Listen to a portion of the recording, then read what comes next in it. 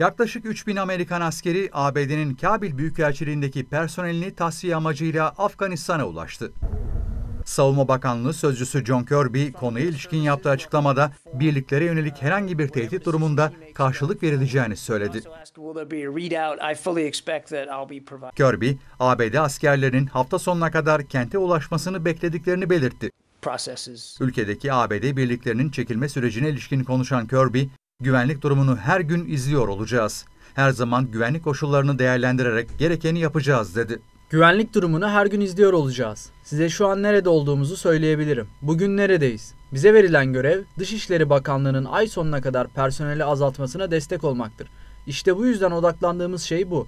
Odaklandığımız zaman çizelgesi bu ve herhangi bir şekilde sola veya sağa ayarlamamız gerekirse bunu yapacağız. Ama her zaman güvenlik koşullarını değerlendireceğiz. Kirby, Taliban'ın müzakereyle ilgilenip ilgilenmediği sorusuna ise bu soruyu onlara sormak gerekir diye yanıtladı. Bence bu Taliban liderlerine sorulması gereken bir soru. Doha'da bir ekipleri var. Geçmişte müzakerelere katıldılar.